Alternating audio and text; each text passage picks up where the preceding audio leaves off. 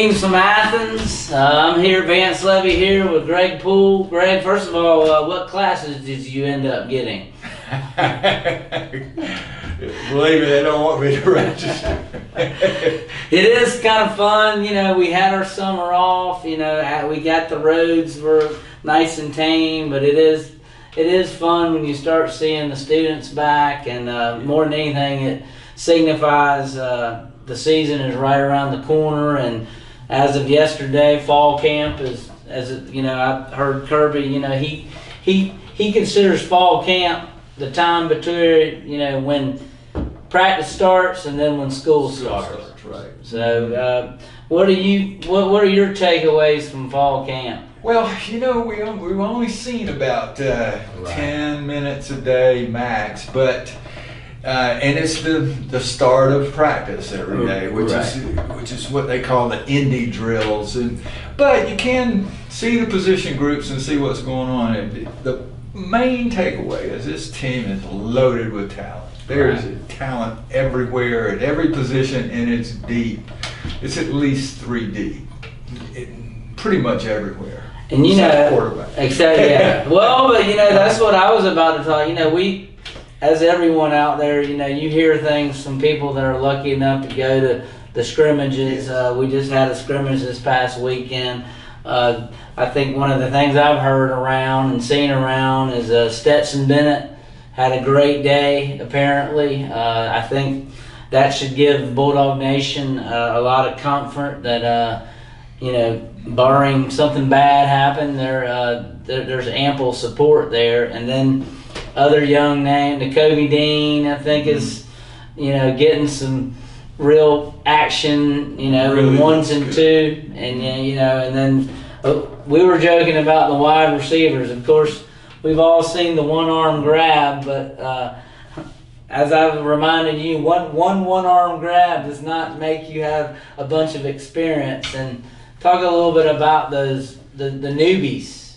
Well, At wide receiver. wide receiver. Yeah. Well, that, the the kid from um, um, uh, what's his name? Number one. Pickens, Pickens, yeah, yeah, yeah. yeah, sorry. Big, yeah. No, no, no. That's all right. And he's uh, right now he's wearing eighty three, right? Well, at practice, but Yeah. actually, I I posted his 83 on Instagram the other day, and he responded saying, "Oh, "I'm only wearing that at practice." Gotcha, So, gotcha. so um, uh, he will be wearing number one, but gosh, he looks good. I mean, he's mature for a freshman, and he's got all the tools. He's not real fast, but uh, he he, um, he can get up and get the ball, and that's that's signified by that that one arm catch that he made. And that's not the first time he's done that. There's all kinds of film of him in in practices and from high school and in camps doing the same thing. And then you know one thing that I think is an obvious difference between last year's core versus these new guys is, you know, on, on the on the negative side, there's no you know experience. On the positive side, the height and the just pure athleticism is is you know we're nothing against the guys last year, but we were small. Yeah. I mean, like height wise, we, we were we you know when you think back, mm-hmm. you know, Mecole. I mean, not a big guy. You know, uh, Godwin, not a big guy. So now I think that's that's an asset. But as I said, I, I do warn everyone: one big catch does not make a a, a, a well experienced team. And as you were saying before we came on air, was it's a good thing that we have the you know the way the schedule sets up. Yeah. Uh, you know, and that's not taking away. You know, Vanderbilt's going to be a great challenge, but I, I think it's a real asset to let those guys have time and timing with Fromm. Yeah, if they unless something weird happens, they should beat Vandy, and they should be able to play a lot of people in that game, and that's going to be very important for the wide receivers. And then they have two what are now called cut, cupcakes after that. Uh, although Arkansas State is probably not going to be as much of a pushover as people think. They're a good- yeah. good little program, but uh, they are a smaller program. So, but anyway, yeah, the wide receivers are going to need those those reps, and we're going to find out right away at Vandy if these new wide receivers have learned to block. Right. And if they haven't, they're not going to play for Kirby Smart All right. because Georgia's still going to be a run first football team, regardless of what Coley does. I mean, Coley's got a boss. Right. That boss is going to have him run the ball. You know, but getting to Coley and talking to some of the players that have been available available after practice, have you gotten a better feel for some of the wrinkles that might be different in offense? They, The won't- they, they won't say anything. However, they they kind of say they expect more passing, Right. but not definitely. It's not. We're going to pass a lot more. It's we're possibly working more passing, Right. and and maybe different types of passing Yeah. uh, to to utilize some of the backs they have. And then I think that you know tight ends. I think you can definitely see some situations where both of them are out there. Yeah. Uh, again, kind of compensating for that youth, that wide receiver. You know that. You know Charlie Woerner, of course, is the veteran, but uh, Fitzpatrick is is is a good good tight end, and this kid that came from Tennessee, Wolf, is also Yep. looks good. I was watching him yesterday, and he probably is is the most precise route runner in the tight end room. He really looks good to me.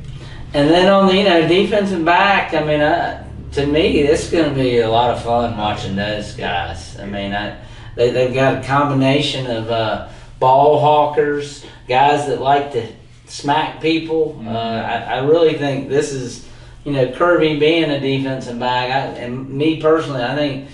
Year four is when he really has that back end the way he wants, and that was one of the more interesting things I took from Dan Lanning's one twice a year meeting with the media is that somebody asked him about is it going to give you more flexibility to do some other things like pass rush Absolutely. and I think so Yeah. I mean Even with the defensive line, it's go, they're going to be a little more free to um, to pressure Right. quarterbacks. Yeah. Um, and then I know how people fans always like to say well we're not going to show Vandy or some of these guys much I, you know I don't know that I, I think They're like we're play. talking about I think they're they're they're wanting guys to get quality reps so I, They're going to play their game. They're not going to, Yeah. you know, they're not going to be hiding anything. Right. I mean, of course, they offensive coordinators always have something in their back pocket, but they're going to go out and play their play their offense. And, Yep.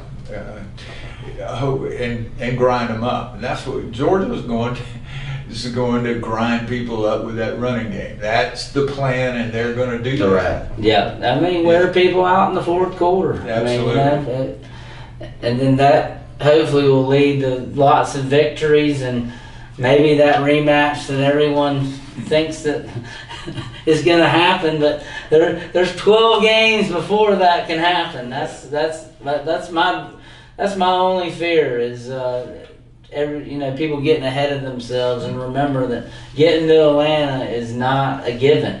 It, Right. you know, there's a game or two where it takes some luck. Oh, absolutely. If you go back and look at the 2000, uh, excuse me, the 1980 scores, they were, you know, people think national championship, they blew everybody out. No. No, right. Yeah. It doesn't work that way. Well, I think that's about all I got. Anything you want to add? I don't know. It's hard, you know, it's, it's hard to distill it down, but I think if, if, if I had any comment about it, I would go back to the talent thing. Right. About, about spring. Um, it's, not spring, but fall camp. Uh, it's just so much talent there. There's so much competition between good players deep in the roster. So it's going to be a fun year. Yeah, and then I would think too. Uh, there's good continuity. I know you know, and that's funny to say. There's good continuity when you have two new coordinators, but you know, I, I do think the hiring we did. I like where where we've gone, and uh, you know, I think I think we should, barring you know, barring a, the winning the big enchiladas. I mean, you know, I think those guys might be around another year or two for sure if they if they have a you know put a quality year out there. So, but they could definitely be on their way to bigger jobs too. So, Sure. well, we will be back. I think what early next week talking about the the scrimmage. scrimmage, yeah. uh, it'll be fun to kind of when we do get to talk to Kirby Saturday. You know what happens now is they begin to kind of start doing some uh, real preparation for Vanderbilt. Mhm. And I know whether it was Coach Richt or Kirby, you know, when those guys get to kind of make that turn, it's they're still hitting the same guys and they're still getting tired of that. Yeah. But at least there's some game plan, and, and just like the fans and everybody else, you're that much closer to, to going live. Yeah. All right. We'll see you in a few weeks, or, or sorry, next week, and then in a few weeks, uh, our Georgia Vanderbilt print issue will be coming out the Tuesday of week one. Yep. Not Thank- long now. No. Lots of work to be done. Thanks so much.